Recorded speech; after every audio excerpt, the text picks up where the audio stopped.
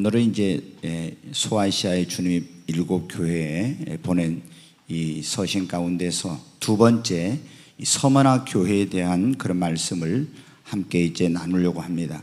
이 서머나는 에베소에서 북쪽으로 약 64km 떨어진 곳에 있는데 그 당시 인구가 한 20만 명이나 됐다고 합니다. 그러니까 아, 지금부터 2000년 전인데 어, 20만 명이면 굉장히 그 당시로서는 큰 그런 이제 도시였습니다. 예, 이 도시는 아시아의 꽃이라고 불릴 만큼 굉장히 아름다운 그런 도시였어요. 그리고 어, 부유한 항구 도시였습니다. 아, 많은 그곳에는 이제 부자들이 살고 있었어요. 그런데 이 로마가 세계를 지배할 때인데 로마의 티베리우스라고 하는 그런 황제가 자기의 어떤 이제 그 로마의 황제들 가운데 10명은 자기를 이렇게 신으로 숭배하도록 강요하는 그런 황제들이 있었는데 이 티베리우스라는 황제가 자기를 신으로 숭배하도록 하는 신전을 지으려고 하는데 서로 이 도시들이 경쟁을 했어요.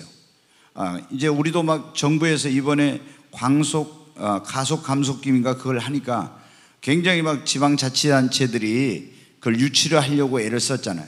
아깝게 이제 나주가 떨어지고 청주가 됐는데 예, 그게 왔으면 얼마나 좋을까 그런 생각을 해요.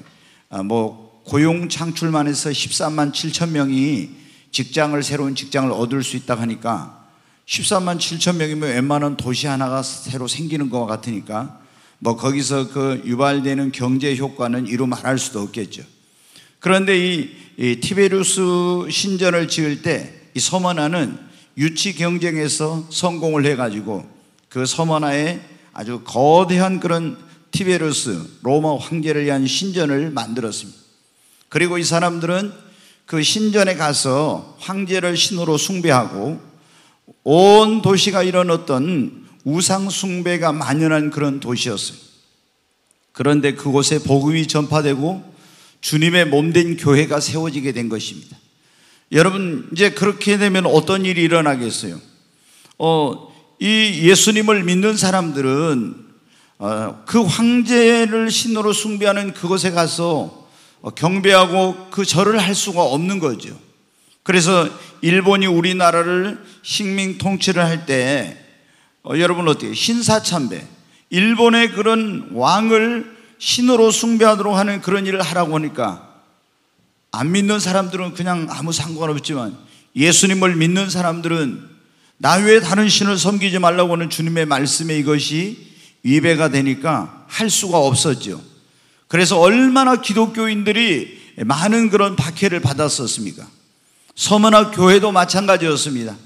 이 티베루스 신전이 세워지고 그 황제를 숭배하면서 우상 숭배를 강요하게 되는데 예수님을 믿는 사람들은 그걸 하지 않으니까 어마어마한 그런 박해가 이제 이 성도들에게 가해지게 되었습니다.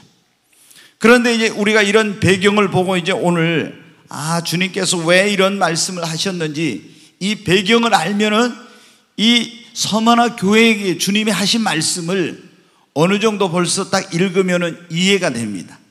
예수님께서 그 일곱 교회 편지를 보낼 때 어떤 일정한 양식 그런 틀이 있었다겠죠. 근데 꼭 주님께서 서머나 교회 사자에게 에베소 교회 사자에게 버가모 교회 사자에게 이런 식으로 그 주의 종들을 통해서 그 교회 편지를 보낼 때 보면은 제일 먼저 어떻게 돼요? 예수님 자신이 어떤 분인가를 소개를 해요. 그래서 에베소 교회에서는 어떻게 했습니까? 오른손에 일곱 별을 붙들고 일곱 금초대 사이를 거니시는 그런 이가 이렇게 말씀했어요. 주님이 그런 말씀을 그런데 서만화 교회 사자에게는 처음이요 마지막이며 죽었다가 살아나신 이가 이렇게 말씀을 하셨습니다. 여러분 여기 주님의 모습은 바로 처음이요 마지막이며 죽었다가 살아나시니 이것은 그 당시 서, 만화 교회의 성도들이 로마 황제를 신으로 숭배하라고 하는 것에 하나님의 말씀 나 외에 다른 신을 섬기지 말라는 그 계명을 어기도록 하는 것이었기 때문에 이 황제 숭배의 그런 어떤 명령을 거부하게 됨으로 말미암아 엄청난 그런 박해를 받고 많은 순교자들이 생겼는데 그때 주님이 뭐라고 말씀했어요? 나는 처음이요 마지막이며 예, 여러분 생각할 때 많은 사람들이 그런 생각을 우리의 목숨이 정말 로마 황제의 손에 달려 있고 우리의 운명이 달려 있는 같은 이런 생각을 할 수가 있었어요.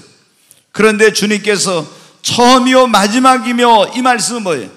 내가 이 세상의 모든 인류 역사를 주관하고 있고 너희의 생명도 주관하고 있고 처음이요 마지막이라는 것은 내가 처음부터 끝까지 너희의 모든 것을 다 알고 있다고 하는 말씀인 것입니다. 너희가 얼마나 지금 환란을 당하고 얼마나 믿음을 지키기 위해서 고난 가운데 있고 또 너희들이 어떤 그런 지금 환경 가운데에서 있는지 내가 이 모든 것을 다 알고 있다고 그렇게 주님 말씀하신 것입니다. 이것은 모든 것이 주님의 손 안에 있다. 이런 말씀인 것입니다. 여러분 또 죽었다가 살아나시니가 이 말씀을 너희는 죽음을 두려워하지 말라는 거예요. 지금 황제를 신으로 숭배하지 않는 사람들은 와, 죽임을 당하는 것입니다. 그런데 어떻게 합니까? 우리가 죽음을 두려워하게 되면은 믿음 생활 제대로 못하는 거예요. 지금 이렇게 편안할 때는 기독교 신앙을 우리가 갖는 것이 그렇게 큰 어려움이 없어요. 그런데 내가 예수님을 믿게 되고 어떤 우상숭배를 갈때안 하게 되면은 내 목숨을 담보로 하는 그런 일이 벌어졌을 때는 그때 여러분 때 내가 죽어도 다시 산다고 하는 부활의 생명, 부활에 대한 소망을 가진 이 부활 신앙이 있지 않으면은 다 여러분 어떻게 죽음이 두려워서 거기에 무릎 꿇게 되고 그리고 믿음을 지키지 못하게 되는 거예요. 그래서 예수님께서 지금 핍박을 당하고 엄청난 환란 속에 순교를 당하고 있는 그 서머나 교회 성도들에게 내가 죽었다가 다시 살아난 것처럼 너희도 지금 죽어도 다시 살아나게 될 것이니 죽음을 두려워하지 말라는 그런 말씀인 것입니다. 여러분, 우리 그리스도인들은 항상 기억해야 되는 거예요. 나의 모든 것은 주님의 손 안에 있습니다. 처음이요 마지막 대신 그분이 다 알고 계십니다. 그리고 우리는 절대로 죽음을 두려워해서는 안 되는 것입니다.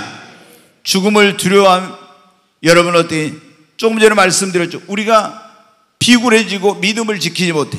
우리는 죽음으로 모든 것이 끝난 것이 아닙니다. 예수님을 믿는 사람들은 우리에게 죽음은 천국으로 가는 관문입니다. 절대로 히브리서 11장에 보면 그런 말씀이 있잖아요. 저들이 더 좋은 그런 부활을 위해서 톱으로 켜는 것과 칼로 죽는 것과 이런 어려운 일을 당해도 그냥 그것만 예수님 부인하고 이렇게 하지 않았다고 왜 예수께서 부활의 첫 열매가 되신 예수님께서 죽음을 이고 부활하신 것처럼 예수님 믿는 사람들은 여러분 장차 부활할 것을 더 좋은 부활이 있음을 믿기 때문인 것입니다. 여러분 여기에 보면 주님이 서만화 교회 하신 말씀 가운데 이런 말씀이 있어요. 거기에 구절에 보면 이런 말씀 한번 보겠습니다. 다시 한번 구절 보요.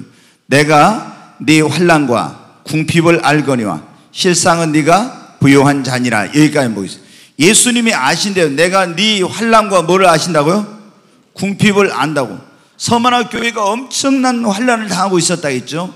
근데 어느 정도로 환란을 당했냐면요. 기독교인들을 죽여가지고 이 기독교인들을 짜가지고 기름을 내가지고요. 그 기름을 갖다가 거기서 사람을 죽여서 우리, 우리 기독교인을 죽여서 기름 짜가지고 이 짠 기름으로 정원에 불을 밝혔다고 이렇게 나와요. 그리고 또 어떻겠냐. 기독교인들을 산에다 갖다가 있잖아요. 쫙 풀어놓고 도망가면 있잖아요. 이 사냥을 하듯이 이렇게 해가지고 또 기독교인들을 죽였어요. 그리고 어, 펄펄 끓는 그런 물을 부었고 그 안에 집어 넣어가지고 죽이고 그리고 심지어 두 눈을 뽑히고 뽑고 인간으로서는 도저히 상상할 수 없는 그런 모든 잔인한 그런 방법으로 그렇게 우리 그리스도인들을 죽였어요. 그런데 지금 예수님께서 뭐라고 말했어요? 내가 네가 네 환란과 궁핍을 알고니와 지금 이렇게 예수님을 믿는 믿음을 지키려고 너희들이 죽임을 당하고 환란을 당하고 고난을 당하고 이 모든 것을 여러분 어디 주님이 다 알고 있다고 말씀하셨어요. 여러분 한번 실제로 생각해 보십시오. 만약에 오늘 우리에게 이런 환란과 고난이 온다면은 나는 과연 그런 가운데서도 믿음을 지킬 수 있겠는가? 내 두 눈을 뽑고 나를 저기 가서 죽여가지고 기름을 짜고 그리고 또 여러분 어떻게 돼? 온갖 갖가지 그런 고통스러운 방법으로 나를 죽이면서 그래도 예수 믿을 거냐 하면 여러분 예수 믿을 수 있습니까? 한 사람밖에 없네. 여러분, 만약에 제가 늘 말씀드리잖아요. 우리 시대에 요한계시록에 나와 있는 그게 그대로 이루어져서 저 그리스도가 이제 세계를 지배하는 이런 일을 하면서 666표를 안 받으면 물건 사고 팔고 못하게 하고 자기 우상에 절하지 않으면 죽이는 이런 시대가 이제 우리 시대에 올 수도 있어요. 그럼 여러분 그때 믿음을 지킬 수 있습니까? 아니 이렇게 대답도 크게 하나 못해요? 네 믿음대로 된다겠잖아요. 아멘? 아니 벌써부터 불안해가지고 두려워 떨면은 여러분 어때? 여러분 서머나 교회 어떻게 돼요? 그런 엄청난 그 환란, 어마어마한 그런 고통, 이런 죽임을 당하고 순교하면서 그러면서도 어떻게 돼요? 그냥 가서 있잖아요. 1년에 한 번씩 모든 도시의 사람들이 가서 그 신전에서 절하는 날이 있어요. 거기에는 아무도 예외가 없어. 모든 사람이 가서 그날은 그 서머나 시에 있는 사람이 다 로마의 황제의 그 신전에 가서 절을 해야 돼. 근데 그때 가서 절 한 번만 하면은 아무런 문제 없이 편안하게 살 수 있어요. 그런데 여러분은 어떻게 합니까? 그때 진실한 기독교인들은 진실한 그리스도인들은 여러분 어떻게 했어요? 그걸 하지 않음으로 말미암아 죽임을 당하고 고문을 당하고 찢겨서 죽임을 당하고 사냥을 당하듯이 죽고 기름을 짜서 등불을 그 쓰는 기름을 만들어 가지고 이렇게 하는데 죽임을 당하고 엄청난 이런 일을 당했어요. 여러분 우리가 예수님을 믿는 것이 이렇게 어려운 일이 없을 때는 진실한 그리스도인과 그렇지 않은 사람이 차이가 별로 없어요. 환란이 오면 이 사람이 알고인가 쭉정인가 금방 드러나요. 진짜로 환란이 왔을 때 내가 참된 크리스찬이다. 내가 진, 가지고 있는 믿음이 진짜 믿음이라는 것을 증명할 수 있는 기회가 오는 거예요. 그런데 그리스도인들이 아, 좀 무슨 환란이 오고 어려움이 오면 벌벌벌벌 막 떨어요. 얼마나 그러고 막 타협하고 있잖아요. 거기에 굴복하고 목숨 좀 더 부지하려고 여러분 우리가 예수님 앞에 믿음을 지키면서 죽어가지고 영원히 사는 길이 있고 그렇지 않고 내가 목숨을 조금 연장시키려고 하다 영원히 죽는 길이 있는 거예요. 우리는 어떤 길을 선택해야 되겠습니까? 내가 믿음을 지키다가 죽어도 영원히 사는 길을 여러분 택해야 되는 것입니다. 너무 많은 그리스도인들이 지난번에 여러분 봤죠? 주기철 목사님 그 어, 영화 만든 거. 근데 그거 보세요. 목사들까지 성도들은 물론이거니와 가서 어떻게 돼요? 그 신사 참배하는데 거기다 굴복하고 얼마나 여러분 비겁한 거예요. 우리에게 이런 일이 온다면은 우리는 살 생각하지 말아요. 일사가고 순교의 그런 정신으로 정말 우리가 믿음을 지키고 주님을 위해서 죽을 수 있는 기회, 믿음을 지키기 위해 죽을 수 있는 기회가 오면은 절대 살려고 하면 안 돼요, 여러분. 살려고 하면 여러분이 영원히 죽게 되는 거예요. 그러나 그때 내가 육신이 죽으면은 영원히 사는 길을 여러분 택하게 되는 것입니다. 오늘날 교회 다니고 기독교인이라는 사람들이요. 너무 허약해. 조금만 무슨 일이 생기면요. 그냥 교회도 안 나오고 그리고 뭐 세상과 타협하고 막 이래. 그렇게 해가지고 여러분 우리가 믿음 지키고 천국 갈 수 있겠어요? 여러분 정말 어떠한 일이 있어도 우리는 이 서만학교의 성도들처럼 내 목숨 육신의 생명을 잃어버린 일이 있더라도 믿음만은 지켜야 합니다. 다니엘의 세 친구 여러분 아시잖아요. 사드락과 메삭과 아벤누고 어떻게 했습니까? 느부갓네 사랑이 금신상 만들어 놓고 절하라고 할 때 절하지 않았잖아요. 그런데 왕이 불러가지고 이렇게 말합니다. 이제라도 지금까지 안 한 거 좋다. 이제라도 이 양금과 생황과 나팔 소리가 울릴 때 거기에 엎드려 자라면 지난번에 안 한 거 내가 다 용서하고 너에게 죄를 묻지 않을 테니까 지금이라도 그렇게 하라고. 그렇지 않으면 평소보다 일곱 배나 뜨거운 불문불 속에 던져서 태워 죽이겠다고. 그런데 여러분 뭐라고 합니까? 왕이시여, 우리는 말할 필요가 없습니다. 당신이 우리를 분문불 속에 집어넣으면 우리가 섬기는 하나님이 우리를 그 속에서 구원하실 것입니다. 그러나 그리 아니하실지라도 우리는 당신의 신상에 절할 수 없습니다. 아멘. 여러분, 우리 이런 믿음을 가져야 됩니다. 우리를 육신을 죽이는 사람들을 두려워하지 말고 우리 영혼과 육체까지도 지옥에 멸하시는 하나님을 두려워하고 어떤 환란, 시험, 핍박이 와도 믿음을 지켜야 되는 것입니다. 서머나 교회 성도들 어때? 이 엄청난 그런 어려움을 당하면서도 믿음을 지킨 거예요. 그래서 주님이 뭐라고 내가 네 환란과 또 뭘 안다겠어요? 네 궁핍을 안다고. 이 서머나라는 도시는 굉장히 부유한 도시라고 했잖아요. 항구 도시인데 굉장히 사람들이 잘 살았어요. 그런데 그리스도인들은 여러분은 찢어지게 가난했어요. 왜? 무능해서 능력이 없어서가 아닙니다. 예수님을 믿는다는 것 때문에 그 사람들은 재산을 몰수당했습니다. 그리고 그 사람들은 직장에서 쫓겨났습니다. 경제 생활에 많은 제약을 받았어요. 그것 때문에 여러분 어떻게 돼요? 이 서머나에 있는 성도들, 서머나 교회 성도들은 굉장히 가난했습니다. 우리가 가난이라고 할 때 절대적 빈곤과 상대적 빈곤이 있죠. 지금 우리나라가 얼마나 살기 좋은 나라입니까? 옛날에 여러분 한 50년, 60년, 70년 전에 비하면 우리나라가 얼마나 잘 사는 나라입니까? 6.25 전쟁 이후에 세계에서 두 번째로, 꼴찌에서 두 번째로 못 사는 나라였잖아요. 그런데 지금 여러분 어떻게? 우리가 세계에서 열 번째 안에 들은 그런 나라 아닙니까? 그런데 우리가 누리고 쓰고 이런 것은 어떻게? 세계에서 최고죠. 그런데 사람들이 어떻게 돼요? 이런 풍요로움 속에서 살고 있으면서도 더 잘 사는 사람과 더 가진 사람과 비교하면 상대적 그런 빈곤 속에 있다고 생각을 해요.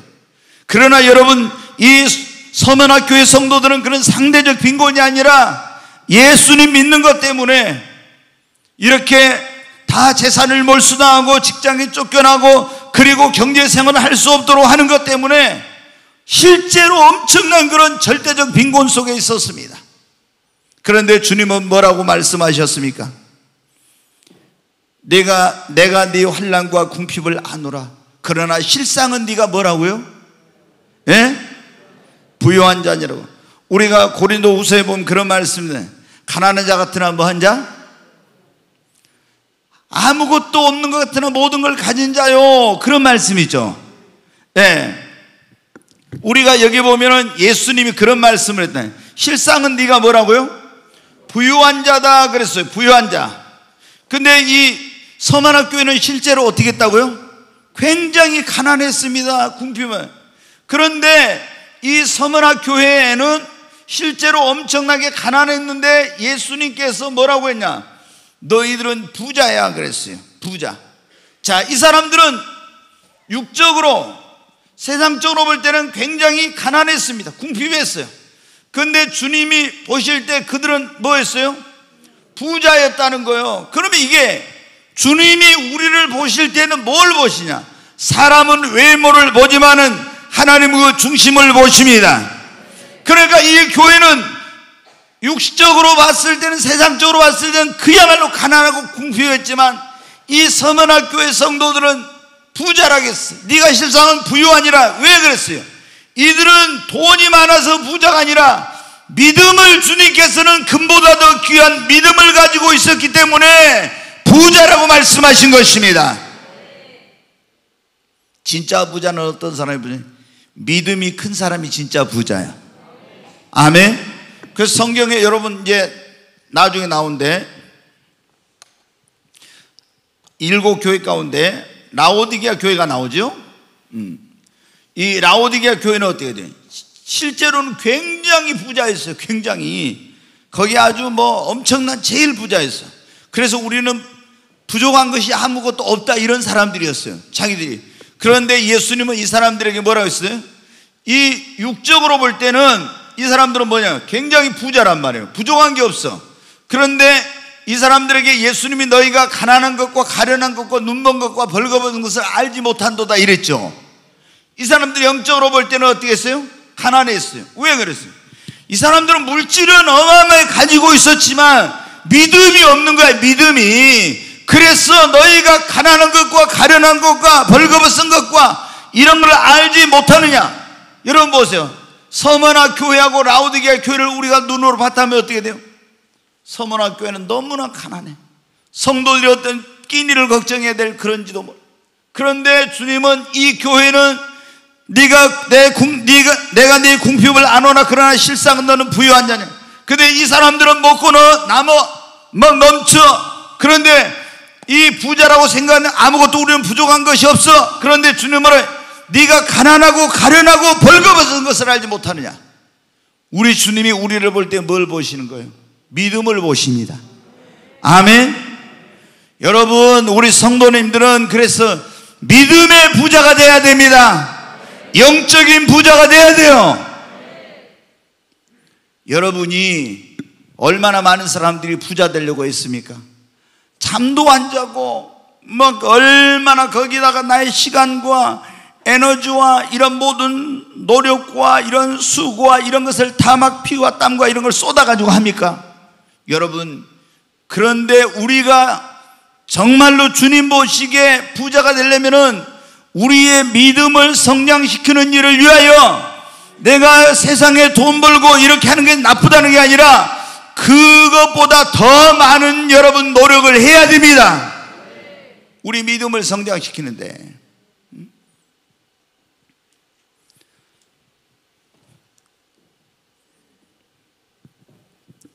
주님이 우리를 보시면 뭐라고 하실까요, 오늘?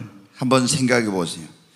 아, 너는 정말 주님이 볼, 보실 때 라오디게아 교회치는 야, 네가 가난한 것과 가련한 것과 눈먼 것과 벌거벗은 알지 못하냐 할까요? 아니면은 서머나 교회처럼 네가 내가 네 궁핍을 안데 실상은 네가 부유한 자니라 이렇게 말씀하실까요?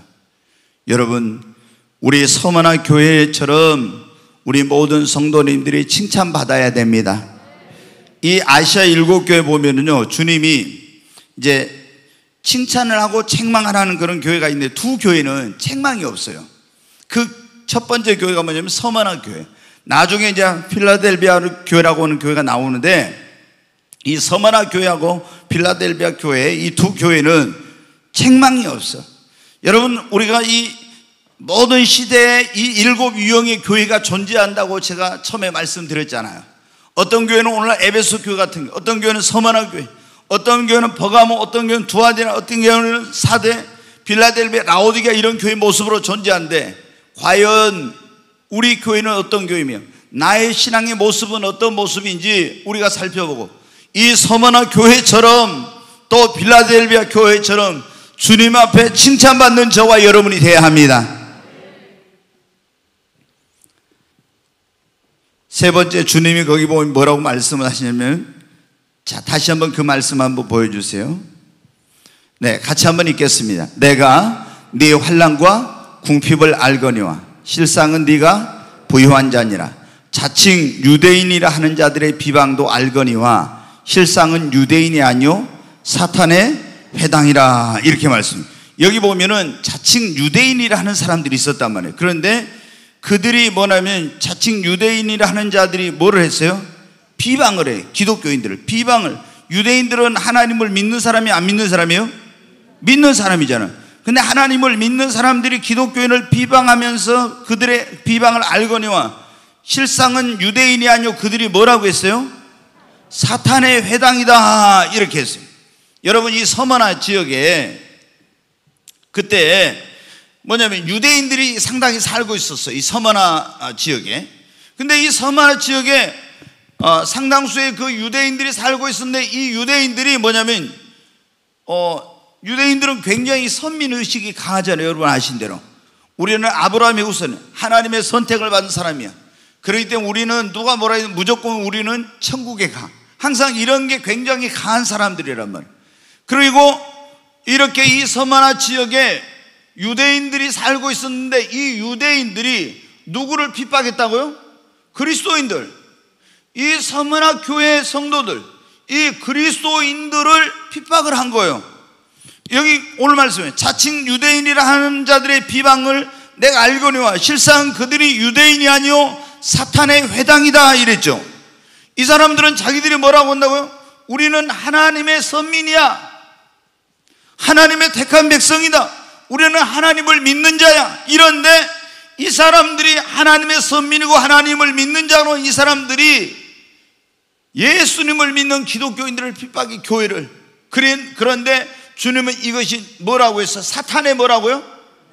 회당이라고 사탄의 회당. 이 모임이 사탄의 회당. 예. 여러분, 이건 과거에만 있는 게 아닙니다. 오늘날도 여러분 이런 경우가 얼마나 많는지 몰라. 우리 주변에 보면 이런 사람들이 또 이런 교회들이 있어요. 예수님을 믿는다 하면서 여러분 어때? 예수님을 믿는 사람을 핍박하고 성령을 성령 운동하는 교회나 주의 종들을 이단이라고 핍박하는 이런 사람들이 있어요. 그런데 자 예수 믿는 사람을 핍박하고 성령 운동하고 하는 이런 교회와 주의 종들을 이단이라고 핍박하는 사람들이 이 사람들이 안 믿는 사람들이 아니라 믿는 사람들이야. 그리고 이 사람들이 여러분 어떻게 돼요? 기독교 무슨 단체, 기독교 어떤 뭐 여러 가지 그런 어떤 우리가 보면 오늘날도 그런 거 있어요. 기독교 언론, 기독교 단체, 어떤 그런 어떤 그런 기관들 이런 사람들이 예수님을 믿는 사람 그런 교회들을 막 공격하는 사람들 있죠. 그것들이 누구예요? 바로 유대인이라 하면서 자칭 유대인이라면서 사탄의 마귀 앞잡이 노릇하는 그런 것과 똑같은 것들입니다. 오늘날도 보면 어떻게 돼요? 기독교인이라 하면서 기독교 단체 이름으로서 목사들을 막 선거법 위반이다 하고 가서 고발하고 방송에 때리고 막 언론으로 뭐하고 선전 선동하는 이런 것들 있죠. 이것들이 전부 다 뭐예요? 그 당시 유대인이라 하면서 우리 하나님 믿는 사람이야 그러면서 로마 거기 황제에게 가서 숭배하고 박해를 안 받고 그렇게 하면서 누릴 것 다 누리면서 이 사람들이 살던 것처럼 오늘날 기독교인이라면서 세상과 짱하고 이렇게 하면서 진정한 기독교인이 진정한 교회를 박해하고 비난하는 이것들이 뭐예요? 바로 사탄의 회라는 거예요. 마귀 짓이에요. 마귀에 속한 자예요. 그러니까 여러분이 어떻게 돼요? 분별을 잘해야 돼, 분별을. 오늘날 보면 이 기독교인이라고 뭐 기독교 무슨 단체, 언론 이런 걸 표방하면서 진정한 그런 기독교인들 그리고 참된 교회 이런 교회를 비난하고 공격하고 막 이렇게 하는 그런 사람 그런 단체들 그런 언론 기관들 이런 것들이 있는데 이게 뭐냐면 주님이 볼 때는 이게 뭐라는 거예요? 사탄이 사탄 사탄에게 속한 자들 자기들은 하나님이 하나님께 속했다고 하지만 주님이 볼 때는 어때? 마귀에 속한 거예요 여러분, 우리가 그래서 분별력이 필요한 것입니다. 얼마나 많은지 몰라, 얼마나. 음. 자, 서머나 교회에게 주님이 주신 당부의 말씀이 있는데, 거기 계시록 2장 10절 말씀 한번 보겠습니다. 같이 읽습니다. 너는 장차 받을 고난을 두려워하지 말라. 볼지어다. 마귀가 장차 너희 가운데서 몇 사람을 오게 던져 시험을 받게 하리니. 자, 여기 보면 이제 이런 말씀. 너는 장차 받을 뭐를 두려워하지 말라고요? 고난을 두려워. 지금도 환란 가운데 있는데 또 뭐라고요? 아 이게 고난을 또 고난이 온대. 지금도 엄청난 환란과 고난 가운데 있잖아. 근데 너는 장차 받을 고난을 두려워하지 말라고. 또 고난이 온다는 거예요. 여러분 우리가 예수님 믿는 사람들이 어떤 때는 고난이 아주 짧은 시간에 지나가. 한 번으로 끝날 때도 있지만 고난이 계속해서 아 계속해서 오는 경우도 있고 고난이 지속적으로 이렇게 오는 경우도 있어요. 그런데 우리는 예수님 믿는 사람들은 고난이 오를 때 두려워하지 말아야 됩니다. 왜? 주님은 우리가 감당치 못할 고난 당함을 어떻게 돼요? 허락지 않으십니다. 아멘. 그래서 여러분이 아, 고난에 대해서 두려워하지 마시기를 바랍니다. 그리고 왜 우리는 고난을 두려워하지 말아야 돼? 주님이 우리와 함께 하십니다. 보라 세상 끝날까지 항상 내가 너희와 함께 있으리라. 주님이 함께하면 뭐 고난이 두렵습니까? 사, 다윗이 그랬잖아요. 내가 사망의 음침한 골짜기로 다닐지라도 해를 두려워하지 않는 것은 주께서 나와 함께 하심이라. 여러분 요셉이 노예로 팔려고 감옥에 들어가 두려워하지 않았어요. 왜? 주님이 함께 하심을 믿었기 때문에. 다윗이 여러분 그 환란 가운데 두려워하지 않았습니다. 왜? 주님이 함께하고 계셨기 때문에. 여러분 초대교회 성도들도 두려워하지 않는 이유는 뭐냐면 주님이 함께 하심을 믿었으니까. 우리 예수님 믿는 사람들은 절대 고난이 와도 환란이 와도 두려워하지 맙시다. 아멘. 제가 지난번에 그런 설교했잖아요. 두려워하지 말라. 이게 성경에 365번 나와 있다고 그랬잖아요. 그러니까 365일 동안 뭐 하지 말아라? 두려워하지 말라 그 말씀이에요. 왜? 우리가 감당지 못할 고난당함을 허락지 않으시고 주님이 우리와 함께 하신데 왜 두려워하냐고. 두려워하지 말라, 놀라지 말라. 나는 내 하나님이 됩니다. 나의 의로운 오른손으로 내가 너를 붙들어 주리라. 주님이 내가 너와 함께 하리라. 아멘. 이사야 43장 한번 보겠습니다. 같이 읽습니다. 야고바 너를 창조하신 여호와께서 지금 말씀하시느니라. 이스라엘아 너를 지으신 이가 말씀하시느니라. 너는 두려워하지 말라. 내가 너를 구속하였고 내가 너를 지명하여 불렀나니 너는 내 것이라. 여러분 믿습니까? 야고바 대신에 요세바 아니면 여러분 성함을 넣어가지고 해봐요. 너를 창조하신 여호와께 지금 말씀하시는 이스라엘의 대신 요세바 너를 지으신 이가 말씀하시나 너는 두려워하지 말라. 내가 너를 구속하였고 내가 너를 지명하여 불렀나니 너는 내 것이라. 자, 2절 보겠습니다. 같이 읽습니다. 네가 물 가운데로 지날 때 내가 너와 함께 할 것이다. 강을 건널 때 물이 너를 침몰하지 못할 것이며 네가 불 가운데로 지날 때 타지도 아니할 것이요 불꽃이 너를 사르지도 못하리니 아멘.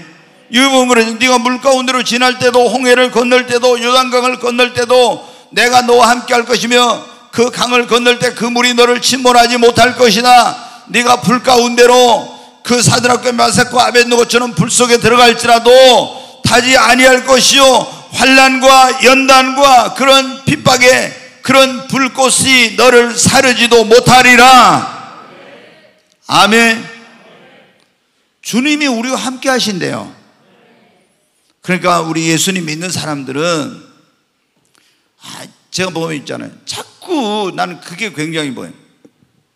이 이제 제가 이게 요한계시록을 하면서 그거 다 여러분 말씀드리겠지만은 맨날 사람들이 신앙생활을 뭐냐면 휴거에다 초점을 맞춰가지고 아 그냥 환란 안 통과하고 어떻게 씩 공중으로 올라가 버리는 이런 생각만 하는 그런 사람들이 있고 이거에다가 막 어떤 막 환란 전 휴거 환란 뭐 중후 휴거냐 환란 후 휴거냐 막 해가지고 성도들의 관심을 자꾸 휴거에다 맞추는 그런 사람이 있어 여러분 그게 그리스도인들의 그게 뭐가 아니에요. 우리는 매일매일 삶 속에서 주님과 동행하고 아니 그럼 여기 서만학 교회 성도들은 신앙생활 잘못해서 휴고 안 되고 이랬습니까? 이, 이 사람들이 서만학 교회 성도들이 환란을 당한 것이 인간의 눈으로 볼 때는 불행처럼 보이지만 이들이 이 고난을 이긴 자들은 전부 다 어떻게 그리스도를 위하여 고난을 받으면서 승리한 사람들은 주님과 함께 왕노릇하게 되는 것입니다. 그러니까 우리 신앙이 막 어떻게 휴거돼 가지고 뭐 어디 올라가서 어려움 안 당하고 이럴라고 하는 생각하면 안 돼요. 주님이 대환란 기간 동안에 어떤 사람들은 남겨놓고 너 복음 전해라 이럴 수도 있어요. 그런 목숨 걸고 가서 복음 전해야지. 아니 여러분 선교사로 간 사람들은 여기서 편안하게 목회할 수도 있고 또 그냥 편안하게 알려간 삶을 살 수도 있는데 왜 그런 고소득을 올리는 병원이 그렇게 잘 되는 의사가 병원을 그냥 다 때려치우고 한 달에 몇 천만 원씩 버는데 그런데 왜 그 아무도 없는 오지에 가서 그런 데로 갑니까? 천국이 없다면 자기가 거기 가서 엄청난 핍박을 당하고 어떤 죽음을 맞이할지도 모르는데 왜 그런데 저 남미의 아마존 같은데 왜 그런 데를 가냐고요. 그 정말 여러분 어떻게 그 인디언들 같이 그 아주 원주민들 빨가벗고 사는 이런 사람들이 있는데 문화적인 혜택이라 이만큼도 없는데 왜 갑니까? 바로 여러분 천국이 있기 때문에 그런 거예요. 아멘. 그런가 우리가 예수님 믿는 사람들이 딱 이걸 바꿔야 돼. 아 그냥 뭐 어떤 어려움을 안 당하고 씩 어떻게 해가지고 여러분 고난이 없으면 영광도 없는 거예요. 아멘. 네. 지금 장차받을 고난을 뭐 하지 말아라? 두려워하지 말라. 그러면서 마귀가 다시 그 말씀 보여주세요. 마귀가 장차 너희 가운데 몇 사람을 오게 던져 뭐를요? 시험을 받게 한다. 또 이렇게 나오죠. 시험을. 우리가 신앙생활 할 때 꼭 마귀가 우리를 어떻게 해요?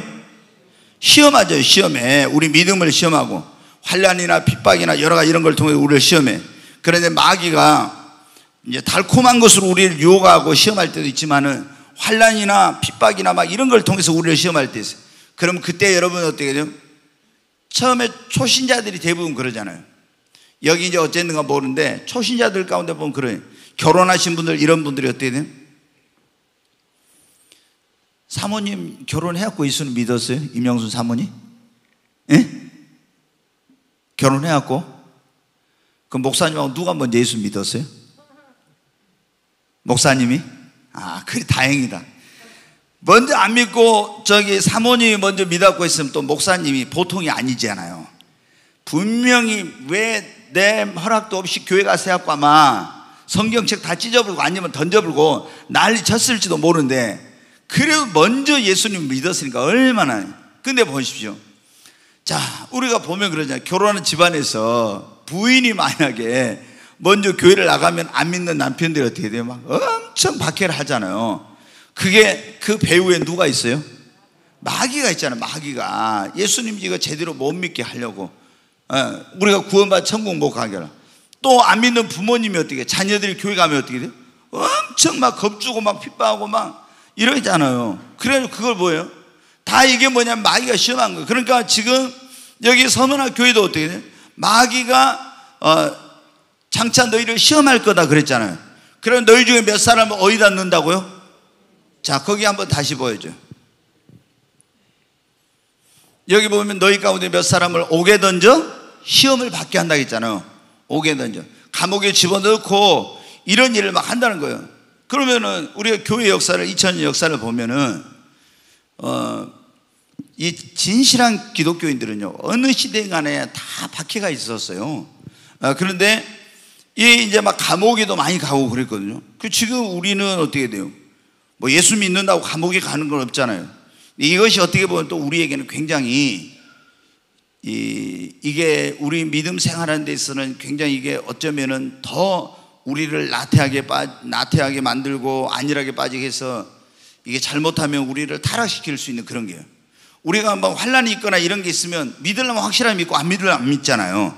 근데 이렇게 뭐 어려움이 없을 때는 그게 아니거든 이게. 근데 여기 보면은 장차 마귀가 너희 가운데 몇 사람을 오게 너희 시험을 받게 하리라. 그 다음에 또 보겠습니다. 너희가 10일 동안 뭐를 받으리라? 환란을 받으리라. 자, 이 10일에 대해서 여러 가지 학설이 있는데 이제 10일 말 그대로 진짜 열흘일 수도 있고요. 예, 열흘일 수도 있고 이 제가 볼 때는 그래요. 이 10일은 아주 주님이 뭐냐?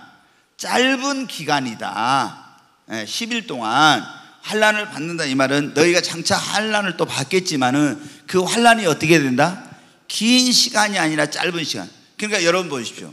뭐 어떤 분은 그래. 이 10일을 어떤 로마 10명의 황제가 통치하면서 고통을 준 기간을 뭐 말한다. 또 뭐 어떤 10년을 말한다. 뭐 티베루스 왕이 다스리던 10년을 말한다. 이런데 저는 그렇게 보지 않고 진짜 10일이 열흘을 말할 수도 있지만 열흘 동안에 그냥 환란이 끝나는 경우는 드물고 이거 볼 때는 아주 짧은 기간이다 이런 생각이.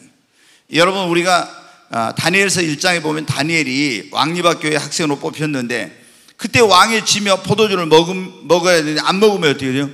거기서 이제 잘리잖아요. 우리 쉽게 얘기해서 쫓겨나고 뭐 어떤 어려움을 당할 수도 있어요. 근데 그때 다니엘이 환관장 아, 아스보나스에 가서 며칠간 시험해 보라게요. 열흘간. 그러니까 이게 뭐냐면 시험의 기간이야. 마귀가 너희 가운데서 어떤 사람 옥에 던지고 시험할 것인데 며칠 동안 시험하리라? 열흘 동안. 근데 우리가 이 10년이 된다 할지라도 이 기간은 영원이란 관점에서 보면 우리가 환란 받는 기간은 어떻게 돼요? 아주 짧은 기간이라는 거예요. 그러니까 너희들이 환란이 올 때 이런 마귀가 막 너희를 세상 권력이나 이런 정치인들 이용해 가지고 너희를 막 고통을 주고 어려움을 줄 때 그 환란과 이런 시험의 기간은 짧은 기간이니까 두려워하지 말라. 아멘. 그 말씀입니다. 여러분 우리가 막 그런 7년 대 환란 이렇게 하는데 실제로 막 엄청난 박해가 가해진 기간은 3년 반인데 그 3년 반이라는 게 어떻게 돼요? 우리가 영원한 관점에서 보면 아무것도 아니야. 근데 그때 아 내가 물건 사고 팔고 뭐 좀 마음대로 하려고 666 펴받고 이러면 여러분 어떻게 돼요? 지옥에 가는 거예요. 그러잖아요. 그때 그런 기간이 있어 좀 힘들어도 참아야 돼. 아니 여러분 보세요. 이제 제가 이 요한계시록 하면 다 나오는데 여러분이 믿음으로 살면은 하나님이 여러분을 그 기간 동안 환란을 통과해도 다 지켜주십니다. 여자가 광야로 도망가서 1260일 동안 하나님의 보호를 받는 그 여자가 뭐냐면 교회예요. 그런데 다 하나님이 지켜주셔, 보호해주세요. 여러분, 이스라엘 백성들이 광야를 갈 때 어떻게 했습니까? 먹을 게 없었잖아요, 먹을 게. 먹을 게 없었는데 40년 동안 하나님께서 어떻게 했어요? 매일마다 만나를 내려가지고 먹이고 입혀주셨잖아요. 아멘? 그 하나님, 우리가 믿는 하나님이십니다. 그러니까 절대로 여러분 막 어떤 벌벌 떨어가지고 믿음 못 지켜 이러면 안 돼. 우리가 하나님을 온전히 신뢰해야 됩니다. 많은 사람들이 그런 거 두려워한다고. 어, 대환란 때 저 그리스도가 나타나서 이제 그 어, 이런 매매 수단인 육룡표를 안 받은 물건 사고 팔고 못 한다는데 그러면 어떻게 이제 굶어 죽어 어떻게 막 이러면서 불안해 가지고 지금부터 걱정한 사람들이 있어요. 여러분 두려워하지 말아야 됩니다. 아멘. 하나님이 여러분 공급하여 주십니다. 문제는 뭐냐면 여러분의 믿음입니다. 믿음을 확고히 하시기를 바랍니다. 10일 동안 시험을 당한다고 지금 그랬잖아요. 예, 그런데 예, 여기에 보면은 예, 이 장차받을 고난을 두려워하지 말라. 마이가 너희 가운데 몇 사람을 오게 하든지 시험을 받게 하리나. 아, 그렇게 했는데 여러분 우리가 이런 그리스도인들은 시험이 올, 환란이 오고 핍박이 올 때 절대 거기에 타협하거나 무릎 꿇거나 믿음을 버리고 배반하는 일이 없어야 됩니다. 절대 그러면 막 아, 이게 환란이 오고 핍박이 오고 막 무슨 이런 오면요 위협하면요 그게 타협하거나 아니면 무릎 꿇거나 아니 어떤 사람은 뭐예요? 제가 조금 전에 목사님은 사모의 말씀이에요. 목사님이 예수님 먼저 믿었는 건데 안 믿어가지고. 이제 사모님 교회 나와. 야 가지 마! 가면 가만 놔둘 거야. 막 전라도 말로 다리 몽댕이 분질러 놓을 거야. 막 이런 식으로 해. 그러면 어때요? 무서워가지고 아이고 다리 몽댕이 분질러지면 나 어떻게 해가지고 교회 안 나와버려 그러고 신앙생활을 못해. 그러면 어디 가요? 쭉 가는 거예요 그렇게 하면은. 그런데 어떻게 돼? 아무리 목사님이 별별해도 내가 죽으면 죽으리다 그런 마음으로 어떻게 돼요? 가. 갔다 와서 한 대 또 얻어 터져도 또 가. 그러면 어떻게 돼요? 못 해봐요, 못 해봐. 못 해봐. 그리고 딱 한 번 이기고 나면 어떻게 돼요? 그 다음에는 자유부인이 되는 거예요. 그런데 계속 눈치 보고, 아이고, 교회 갈때때 남편한테 걸리면 안 되니까 시장 바구니 들고 샥 이렇게 하고, 예, 시장 바구니 들고 어디 갔다 왔어? 아, 저 시장 갔다 왔어요. 이런 식으로 하면 여러분 어떻게 돼요? 믿음도 잘하지 않고 이게 안 되는 거야, 안 되는 거야. 아, 난 교회 가야 된다고. 주일 어쩐 일이 있어 가야 된다. 이렇게 해도 딱 하면 이 겨울 한 번만 이기면 끝이야. 아멘? 왜 그런데 두려워합니까? 왜? 죽고자 하면 살아요. 그러니까 주님이 여기 지금 뭐 하라는 겁니까? 너희들 마귀가 너희 고난 환란 가운데 옥에 집어넣고 막 어떻게 핍박하고 해도 그 마귀가 하는 건 10일 동안 짧은 기간이야. 두려워하지 말아라. 조금 전에 말씀드렸죠. 우리가 죽어서 영원히 사는 길이 있고 살아서 영원히 죽는 길이 있는데 우리는 죽을 기회가 오면 절대로 살라고 하지 말라니까요. 죽으면은 뭐예요? 주님 때문에 죽으면 복음을 위해 죽으면 뭐예요? 순교자의 반열에 오르는 거예요. 아멘. 최고의 영광의 자리가.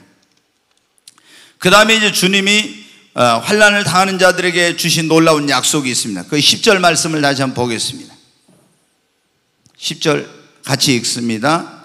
너희가 10일 동안 환란을 받으리라. 내가 죽도록 충성하라. 그리하면 내가 생명의 관을 내게 주리라. 아멘. 여러분, 네가 죽도록 뭐 하라 했어요? 충성하라. 그러면 내가 생명의 관을 전에 본 생명의 면류관이라고 했는데 생명의 면류관, 생명의 관을 주리라 이렇게 했어요. 어떻게 하면 생명의 관을 준다고요? 죽도록 충성하면. 여기서 죽도록 충성한다는 것은 뭐냐면은 우리가 뭐 주의 일에 충성한다 이런 의미가 아니고요. 어, 맡은 자들이 구할 건 뭐라 했습니까? 충성이라겠죠. 고린도서 4장 2절에 보면 맡은 자들이 구할 건 충성이 충성해야 돼. 그래서 주님 오실 때 착하고 충성된 종이라고 인정을 받아야 되겠죠? 그래야 이제 상급을 받고 영광에 들어가는. 근데 악하고 게으른 종 이러면 안 돼. 근데 여기서 네가 죽도록 충성하라. 그러면 내가 생명의 관을 내게 주리라 이 말은 뭐냐면 네가 로마 황제에게 무릎 꿇지 말고 너의 왕이 되신 예수 그리스도에 대한 믿음과 신앙의 정결을 지키고 오직 예수님께 죽도록 충성하고 믿음을 지키라는 거예요. 그러면 뭐를 준다고? 생명의 멸류관을 준대요. 아멘. 성경에 보면은 이 멸류관이 많이 나와. 의의 멸류관, 자랑의 멸류관, 썩지 멸류관, 기쁨의 멸류관, 영광의 멸류관, 뭐 여기 뭐 생명의 멸류관, 금 멸류관 막 이렇게 쭉 여러 가지 멸류관 나와요. 그런데 충성한 사람들 시험과 환란을 당하면서도 예수 그리스도께 대한 믿음을 저버리지 않고 믿음을 지키고 주님 한 분만을 나의 주 나의 하나님으로 고백하고 이 믿음을 지킨 자들에게는 생명의 면류관을 주십니다. 야고보서 1장 12절 말씀 보겠습니다. 같이 읽습니다. 시험을 참는 자는 복이 있나니 이는 시련을 견뎌낸 자가 주께서 자기를 사랑한 자들에게 약속하신 생명의 면류관을 얻을 것이기 때문이라. 아멘. 여기도 보면 시험을 참는 자가 복이 있나니 이는 시련을 견뎌낸 자가 시련을 견뎌낸 자가 이걸 이긴 자가 주께서 자기를 사는 자들에게 약속하신 생명의 멸류관을 얻을 것이라고. 아멘. 여러분 우리 교회 모든 성도님들은 생명의 멸류관을 써야 됩니다. 어떤 고난, 시험, 환란, 핍박이 와도 믿음을 지키고 주님께 목숨 바쳐 충성하는 저와 여러분이 되십시다. 절대 여러분 믿음과 바꿀 수 있는 것은 아무것도 없어요. 믿음과 바꿀 수 믿음과 돈을 바꿀 수 있습니까? 믿음과 여러분 세상 명예를 바꿀 수 있어요? 믿음과 세상 권력을 바꿀 수 있어요? 온 세상을 다 준다 해도 믿음과는 바꿀 수 없어. 아멘. 그 무엇을 믿음과 비교할 수 있겠어요? 그 어떤 것도 믿음과 비교할 수 없어요. 그렇기 때문에 여러분, 우리는 오직 나를 구원하기 위해 십자가를 지시고 죽은 자 가운데 사흘 만에 부활하신 주님 그 예수 그리스도를 구원자와 주님으로 믿었다면 죽도록 그분에게 충성하고 끝까지 믿음을 지켜야 합니다 그래야 어떻게 됩니까? 자, 우리 예수 믿는 사람들은요 과거나 현재나 언제든지 어때요? 성경에 보면 그래 나왔잖아요 뭐 2000년 전에 이럴 때만 환란 있고 핍박이 있는 거예요. 누구든지 지금도 하나님 말씀대로 살라고 경건하게 살고자 하는 자는 어떻게 돼요? 핍박을 받는다 했잖아요. 그죠? 여러분이 한번 봐요. 직장에서 가정에서 어디서 여러분이 말씀대로 살고 제사 안 지내려고 해봐. 그러면 여러분 어려움 오잖아요. 여러분이 직장에 가서 술 먹자는데 그 술 안 먹으면 어때요? 여러분 또 어려움 당하잖아요.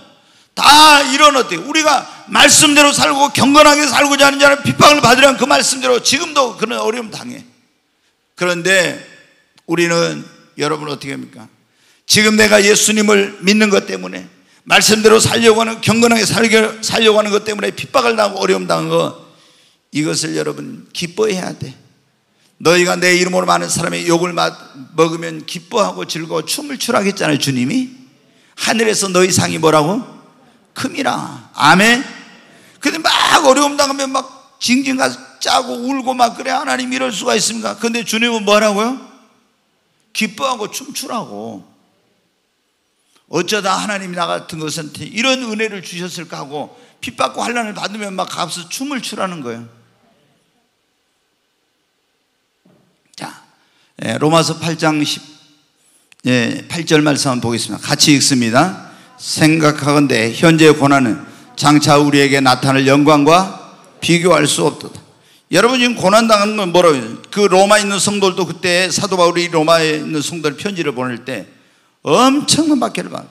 원형 경기장에 사자의 밥이 되고 불로 태워 죽고 찢겨 죽고 이래 어마어마한 고난을 당했거든요. 그런데 성도들은 뭐냐? 현재의 고난 장차 우리에게 나타날 영광과 좋게 비교할 수 없도다. 아멘. 자, 고린도후서 4장 17절 말씀 같이 읽습니다. 우리가 잠시 받는 환란에 경한 것이 지극히 크고 영원한 영광에 중한 것을 우리에게 이루게 함이니 아멘.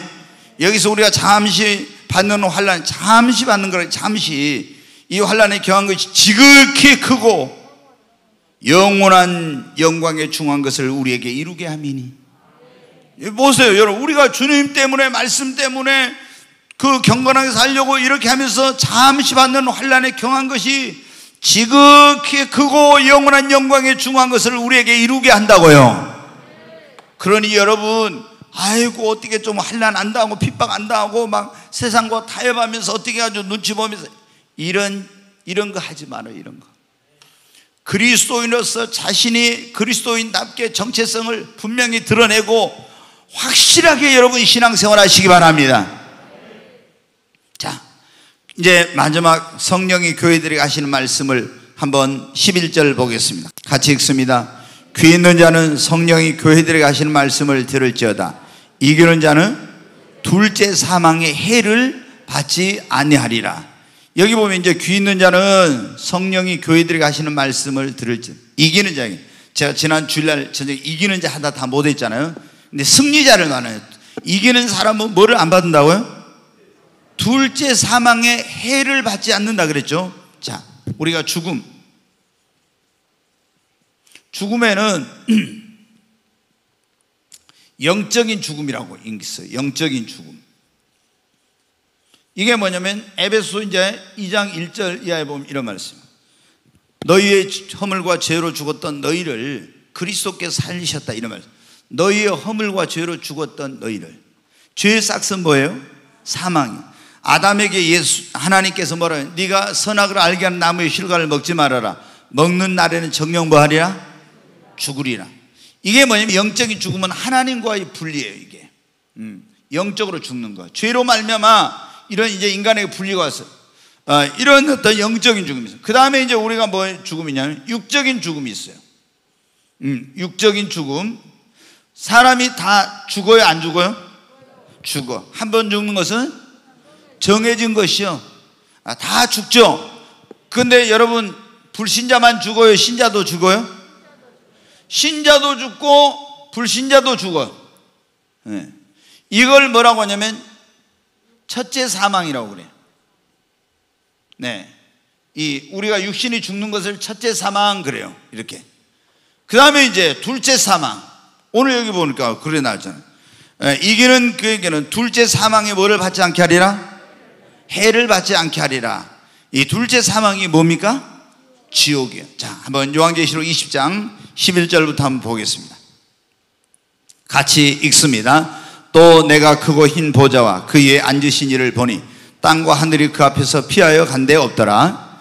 또 내가 보니 죽은 자들이 큰 자나 작은 자나 그 보좌 앞에 서 있는데 책들이 펴 있고 또 다른 책이 펴졌으니 곧 생명책이라 죽은 자들이 자기 행위를 따라 책들에 기록된 대로 심판을 받으니 바다가 그 가운데서 죽은 자들을 내주고 또 사망과 음부도 그 가운데서 죽은 자들을 내주매 각 사람이 자기의 행위대로 심판을 받고 어, 사망과 음부소 불못에 던져지니 이것은 둘째 사망 곧 불못이라. 누구든지 생명책에 기록되지 못한 자는 불못에 던져지더라. 14절 다시 보여주세요. 네 14절. 사망과 음부소 불못에 던져진 이것은 뭐라고 했어요? 둘째 사망 곧 불못 이게 뭐예요? 지옥 그러니까 둘째 사망 음. 이 둘째 사망은 뭐냐면 지옥을 말해 지옥. 그러면은 자 여기 지금 에베소 교 아니 서문학교에 사자의 이르기를 예, 서문학교에 이르기를 이기는 자에게